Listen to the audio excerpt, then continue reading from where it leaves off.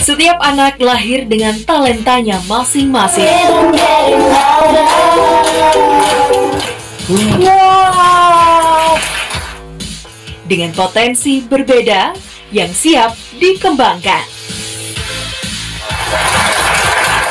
Lagu anak-anak pertama berbahasa Palembang. Zara yang menyanyikan. Luar biasa. Dulur-dulur konco-konco mampir ke.